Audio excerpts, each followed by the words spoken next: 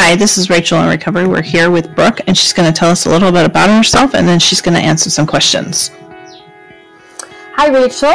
Uh, my name is Brooke Bralove. I'm a psychotherapist and licensed clinical social worker in Bethesda, Maryland, right outside Washington, D.C. And I'm an AASECT certified sex therapist, and I am an accelerated resolution therapy practitioner and I work with individuals, couples, and groups in my private practice uh, going on 19 years. Okay. Um, how did you get into this type of work? So I had been practicing for a long time um, before I even heard about accelerated resolution therapy. I had just been doing kind of psychodynamic talk therapy, relational psychotherapy, and uh, I went through a really bad breakup in 2017, and I tried a bunch of different kind of therapies, and uh, it, I wasn't kind of really moving through it or getting better. So uh, one person suggested this thing I'd never heard of called art. And uh, so I did two sessions of art with a therapist here in Maryland, and I got better. And I really felt like this was a super exciting, very different kind of treatment, and it worked, and it worked quickly. So I immediately figured out how I could be trained, and then I did that, did the training uh, in 2018, and have been practicing art ever since. Okay. Um, what is art slash accelerated resolution therapy? Okay, so art is a brief treatment modality that uses rapid eye movement and voluntary image replacement to change the way the brain stores distressing images and sensations. Um, I'm sure you've heard of EMDR. Yes. Um, so EMDR is kind of the birthplace of art. Laney Rosenzweig, uh, who was a psychotherapist and took an EMDR training and came out of it and thought that was great. I can make it better.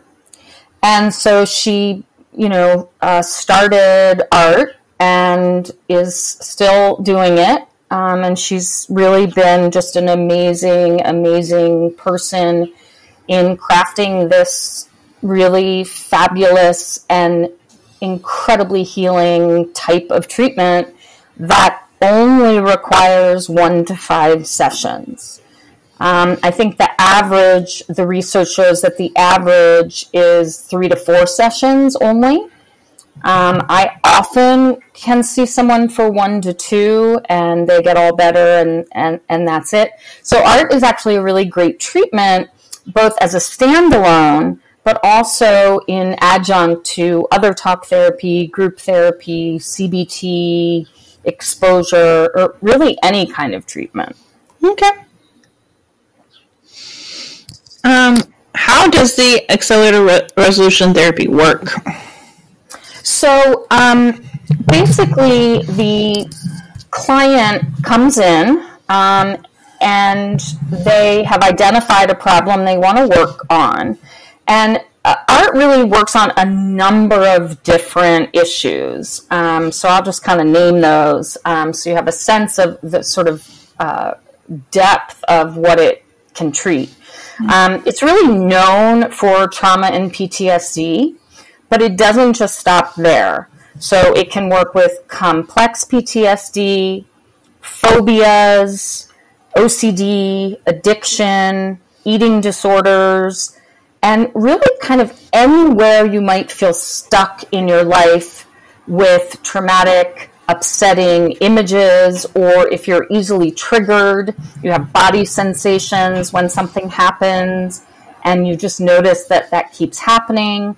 It can even work if you don't like, you know, this uh, uh, sort of an ongoing ongoing dynamic with someone. So I had a woman come in, and she would binge eat every time she visited her mother.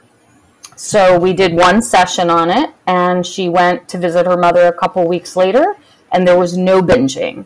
So that's really a dynamic, but it stopped the behavior that she really didn't want to do anymore. Um, so, so a client will come in, and I will have helped them identify again an issue they want to work on, a specific incident, or maybe it's you know a history of childhood abuse. Um, and then we, we basically ask them to come up with what art calls a scene, which is really a, an incident that they can recall in their mind like a movie. And so they basically take that scene and they imagine it in their mind while they're doing rapid eye movements. And the rapid eye movements um, can be done with the therapist's hand. I like to use a light bar um, so that I don't have to physically use my hand for long periods of time and I can kind of stay more connected to the client in front of me. Um, but basically, the eye movements themselves are extremely calming. So if the patient client is imagining a really difficult uh, scene, maybe an assault or something, they do the calming eye movements, and whatever difficult and upsetting sensations come up begin to calm within a matter of a few minutes. So I've had people having pretty much a full blown panic attack, feeling like they just really didn't want to continue, to about two to three minutes later, their body's completely relaxed. Sometimes they have a smile on their face. So it's really different in terms, it's not exposure therapy because it's not re traumatizing. And then we take this scene and we replace it with a scene they wish had happened. And we replace all the negative images and all the negative sensations with positive images, positive sensations. And then we store that in the brain. So while you will always remember the facts of what happened, you will not have the associated sort of trauma response or vivid, distressing images or sensations. Um, in art, we say keep the knowledge, lose the pain. So it is not hypnosis. Uh, the client is fully in charge of the entire session. Um, there is a, a protocol, and um, that protocol works extremely well, and you can be flexible with it. But in general, we really follow the same kind of pattern. So after the first session, the client um, kind of gets it. Um, and I, I, think that's also very um, sort of healing in that there are no surprises um, and they're fully in charge. And it is not re traumatizing at all, where a lot of trauma treatment is. Um, tell us the history of art. Well, as I said, um, in 2007, Laney Rosenzweig uh, did an uh, EMDR training and then just felt that she could do it better. So she has been developing and fine tuning the art of art, and um, it's it's not as well known as EMDR clearly, um, and it, it, mostly because it's it's just much newer than EMDR, right? So a lot of treatments that have been around have 20, 25 years. Um, this doesn't. So there are about 6,000 practitioners um, in the country um, and Canada, and um, I do think it's going to spread and spread and spread, and I can't wait. And that's part of the reason I really like doing podcasts. I really want more people to know about it, both as clients, but really as therapists. Want people to get trained in this because it is such a bright light to have this in your back pocket when someone is extremely stuck. So there's a lot of healing. You know, sometimes a trauma therapist will call me and say, you know, I've got this client, we've done work, talk therapy for years. She's so much better than she used to be. Let's say it's, you know, childhood sexual abuse or uh, physical abuse. And we've talked and talked and talked. But, you know, when she sees X or Y, she gets extremely triggered and shuts down and gets really stuck in a pattern.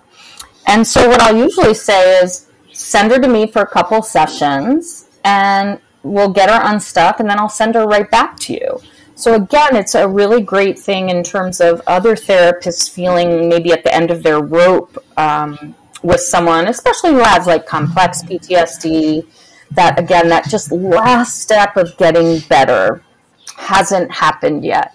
And so, what is really cool about art is there's very little talking. I do an intake session where I find out what the client wants to work on and a little bit about their background and what treatment they've already had. And then I spend the second half of that session telling them about art and the protocol so they know exactly what to expect. And then I tell them at the end of the session, that's the most we're ever going to talk. So I can actually treat someone and not even know what they're specifically working on. I've only had one client uh, decide that she just didn't want to share. I think it was too traumatic and she really couldn't bring herself to talk about it. Um, but I don't have to know any details as long as the client can see the scene, the event, the issue in their mind. That's really all they need to be able to do. Okay. Um, who would be a good candidate for this treatment? So it's a great question, and I do this screening, you know, on the first phone call. So art is for everyone. There are three kind of screening questions, though, that are very important to figure out.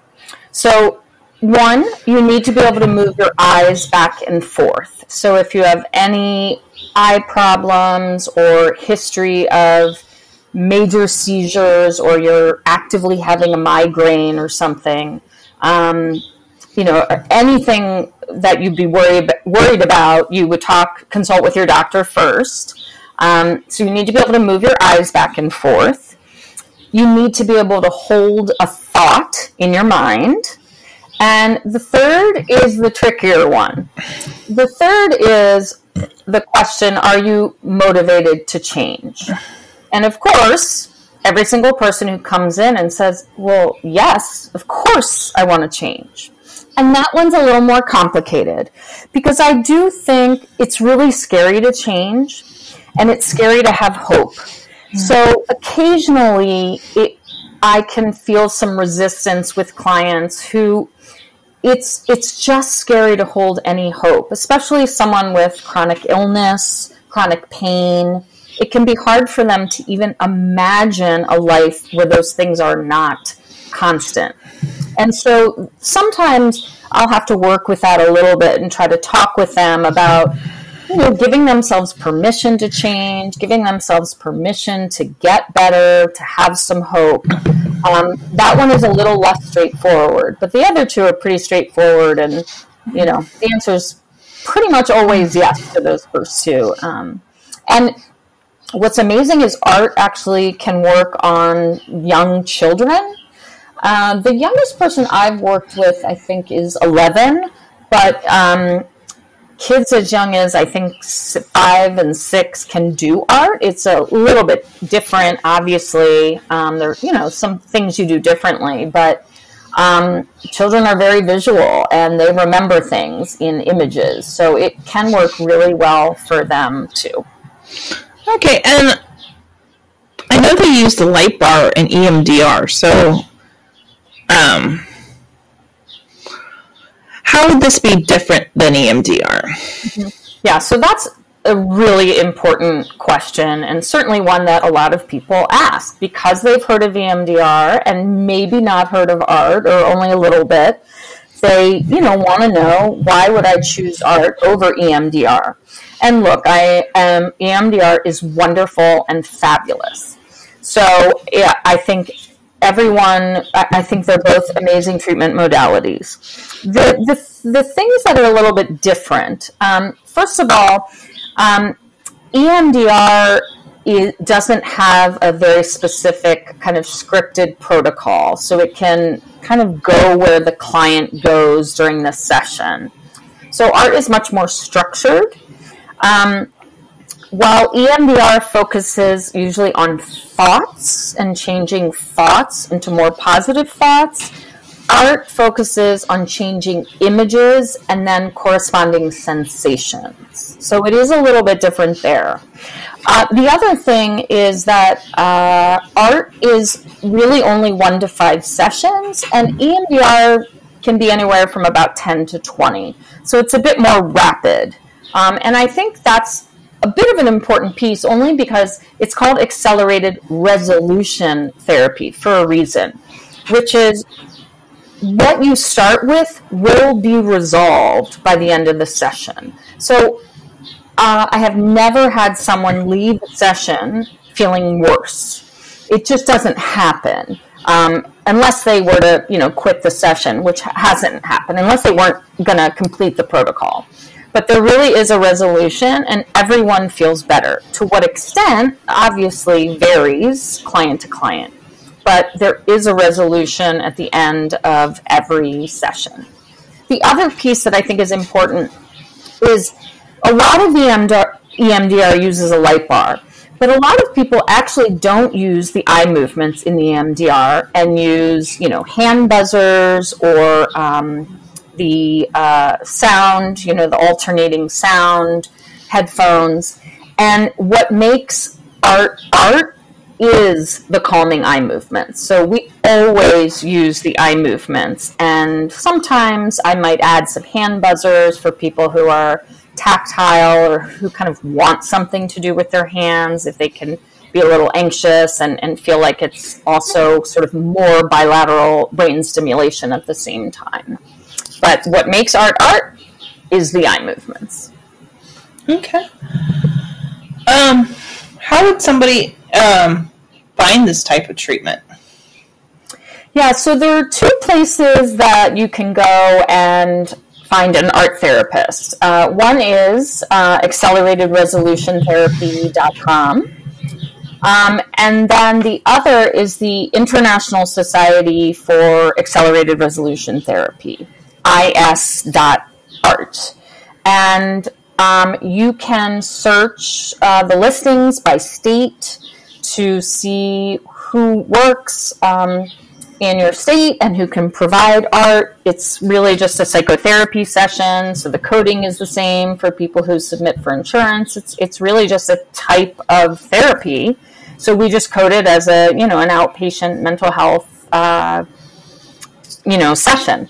Um, sessions are I I do my art sessions in sixty minutes. The first session can be a little bit longer, so I will often leave 75 minutes. Um, because again, it, it, it's a little bit of an odd process, right?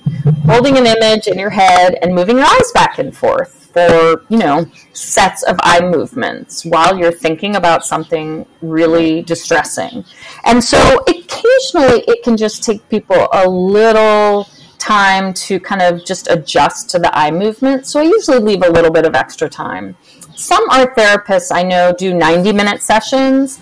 Um, I find that's a bit long. It can be quite tiring. What's really fascinating actually is that the eye movements themselves are so relaxing that often people get very sleepy.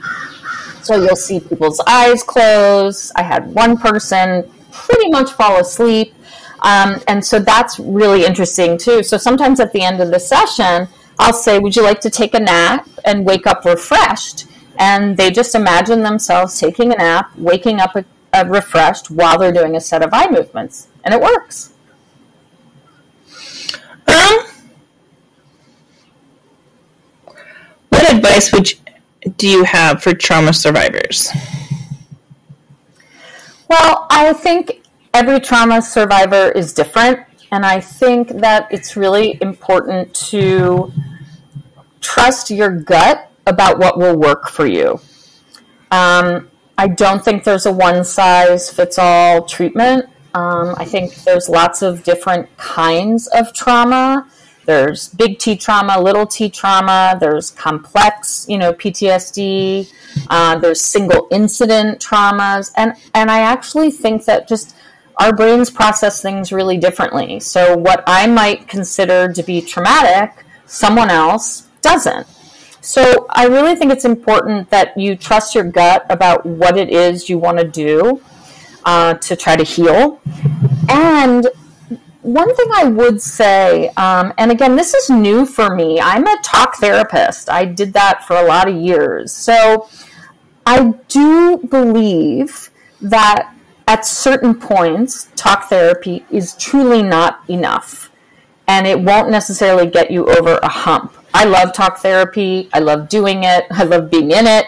Um, but I think that there are times where the approaches that are more brain and body focused, like art, EMDR, um, you know, any of the, um, you know, soothing kind of um, methods, deep breathing, deep relaxation, meditation. I really do think that those are a huge component.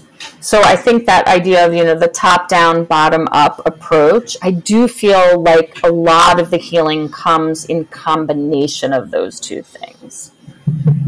Okay. Um, this is a this always takes a lot out of most therapists. What do you do for self care? So, uh, what's really fascinating, which is also a huge selling point for being an art therapist, is it's actually much, there's less burnout doing art because I'm not going to be receiving traumatic, you know, images and myself, and I'm not listening to trauma all day long, other than the intake. Um, I'm not as, um, I, I don't have as much compassion fatigue or burnout. So doing art actually has made me more invested, more committed to practicing psychotherapy. It has really uh, sort of breathed new life into my practice. So I've found that I actually need less self care than I used to when I only did talk therapy. Um, but of course, we all need self care. So I have a therapy dog that I bring uh, to work every day, and he is actually a lot of my self care, just playing with him and being really present. I also make sure to have community. Therapists make amazing friends, and I have a great community of therapist friends. And just getting together sometimes talking through cases, but but mostly just being together. And um, certainly walking, some sort of physical exercise, movement, um, occasionally dancing in front of my mirror is great self care. Um, and, uh, you know, meditation. I don't do it as much as I should, um, but also incorporating that, even if it's five minutes a day, I really do think that makes a huge difference. Okay, um, I think that's it. Is there anything else you'd like to add for our listeners? I think the only thing I would want to say is give it a try. Um, it doesn't make a ton of sense when you first sit down. But what happens is that a lot of people at the end of their very first art session sometimes say, What just happened? where did those negative images go? I can't see them anymore. And I think this is magic.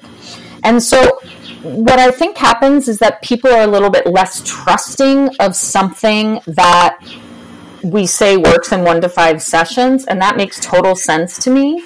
So, Laney Rosenzweig has a book, and it's called Too Good to Be True. And that's because it really does feel that way that art is too good to be true. But I have a lot of people who would tell you otherwise. And, um, you know, I have testimonials on my website um, for people who have found this to be the most healing therapy they've ever, ever done and can let go of things that have been haunting them for 20, 30 years. So do something different try it. If it's not for you, you move on to the next modality. Okay. All right. Thank you. All right, guys. Thanks for listening to Rachel in Recovery. We will be back next week at 10 a.m. Always follow us on your favorite social media platform and um, podcast platform. And if you have any questions, always reach out to rachelinrecovery.com. And We have a YouTube channel and you can always subscribe there. Thanks.